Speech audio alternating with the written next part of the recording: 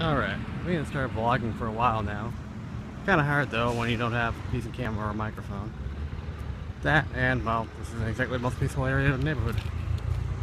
Maybe wondering why I'm heading towards the church now. Well, that's because there's two Pokestops here. Now, this may be a bit awkward of a place to be recording a film, you know, graveyard and all.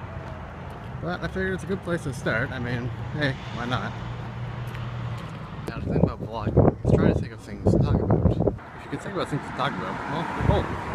The real kicker is walking around town looking like a fool talking to yourself or talking to your phone. The key is not being afraid to film in the chunks, even if you're just sitting down at home. Pick out the best parts and put them together. And even if you're limited by equipment like me, don't be afraid, just go out and give it a try.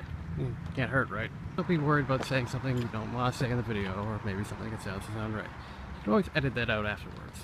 That all being said, I do intend to get better equipment soon, so expect some better footage and, well, everything in the future.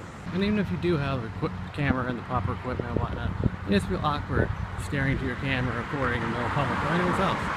Just start with your phone. It's not as awkward and really most people don't even notice. And another tip, just to get you used to recording, record random things.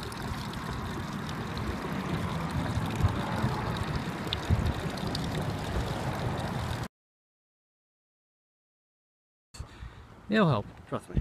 And do things to try to keep your mind off actually recording. Like, for instance, keeping your phone in your hand or your camera. Just play things like Pokemon Go, it's what I do. Of course, always be aware of your surroundings. I wish I could say I could count on one hand the amount of times I've walked into things. Don't think from the start you have to make it fancy. Keep it simple.